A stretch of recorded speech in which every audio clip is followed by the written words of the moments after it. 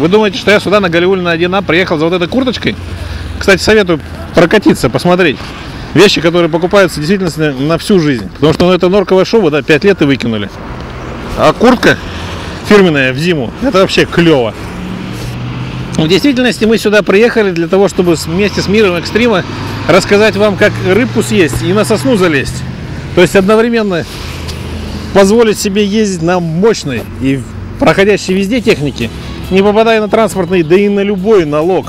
Потому что это же хорошо иметь возможность держать фигу в кармане. Потому что государство как-то к нам достаточно странно относится. Вместо того, чтобы сделать как, как в Китае и в Индии, пожалуйста, деньги направо-налево, только развивайся. У нас, как в дебильной Европе, закручивают гайки. Ну, сколько это может продолжаться? А мы все равно разводной ключик-то найдем. А для начала разведем налоговиков, а то зарплаты все у них маленькие.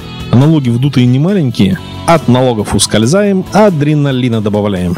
Ну раз русский человек всегда приготовил фигу в кармане, фигу в смысле того, что вот нас прикрывают наши возможности купить себе нормальную машину. Причем не дядя Володя Путин прикрывает, а местные губернаторы. Вот. Поэтому в качестве фиги мы можем использовать Arctic Cat M1100. Вот такая фига.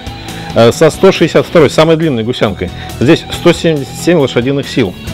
Вот. Если какой-нибудь придурок вам скажет, что срочно необходимо такую технику ставить на учет, ну, во-первых, если вы на трейлере везете, это ваша собственность. Во-вторых, извините, догнать мотоцикл, снегоход точнее, который уматывает от, ото всех на заднем колесе, на самом длинном. Максим спросил, а где крылья-то? Я говорю, крылья нужны. Со скоростью 160 км в час ни на чем не удастся. Естественно, ну, что, что мотоцикл, в смысле снегоход, таких денег стоит, а он того стоит, поверьте мне. Вот. А вот, чтобы вот нормально уехать, вот надеваем такие очки.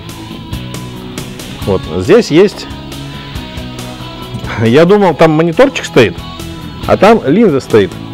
Да, да, да, вот там. Вот. И в нем встроен GPS-навигатор.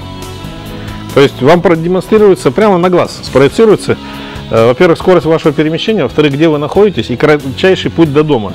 Ну или до того места, что делать нельзя на белом снегоходе. Так что мир экстрима – это то, что доктор прописал в то время, когда экстрим э, буквально начинается. Но имея вечные ценности, понимаешь, что кризис среднего возраста прошел. Начинаешь думать о каждом красочном дне. Раскрасим его квадроциклами, снегоходами и аксессуарами. Плавненько так мы докатываемся до осознания того, что автомобили мы будем покупать с объемом двигателя там 1100, ну 1400 максимум. А лучше еще и те автомобили, на которые транспортный налог не распространяется практически. То есть до 150 лошадиных сил. Сори, покатались. Вот. Э, теперь про то, что реально купить. И на что не надо кредит вообще никакие брать. Вот. И вот такой снегоход, каюр. Я же вам говорил, что снегоходы здесь в мире экстрима начинаются от 150 тысяч рублей. 149 тысяч рублей. Нормальный снегоход, от которого вот каюр это только название, потому что двигатель там Honda. То есть, в принципе, по цене дорогого снегохода ну, это для тех, кто уже может себе позволить и хочет продемонстрировать все свои преимущества. Можно купить снегоход, квадроцикл и мотоцикл.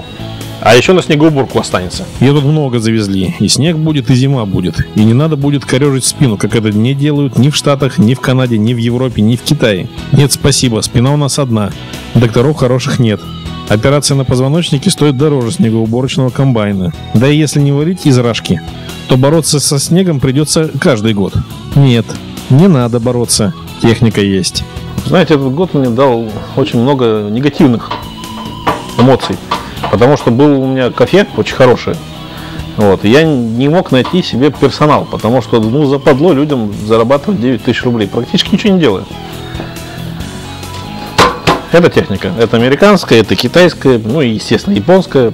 Вот, она вам позволяет за сутки заработать минимум 5000 рублей. Потому что именно столько стоит почистить дворик возле любого магазина. То есть, если хороший снегопад, то техника стоимостью ну, в 60 тысяч рублей оправдается за неделю. А дальше чистая прибыль. К слову о том, что мы не умеем деньги зарабатывать. Умеем мы деньги зарабатывать, просто голову не хотим включать.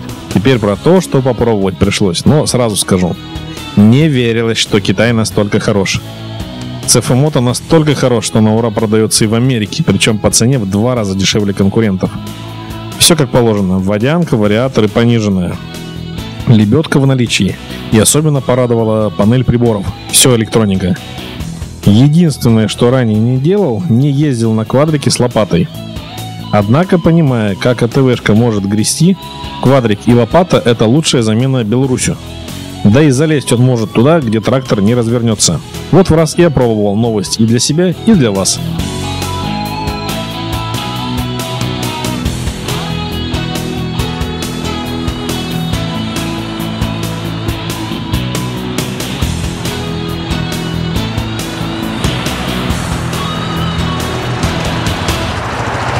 Ну естественно не забываем про ЦП. Потому что на такой технике можно нарушать все правила. Не ставить ее на учет. Ездить где хотите, а в том числе и снег почистить.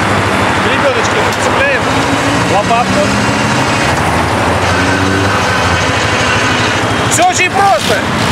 Вот так вот первый экстримы. Совершенно по-другому. А куда приехать? Куда? Пересечение улицы Столиваров и Советской, даже Галиулина. Вот так вот.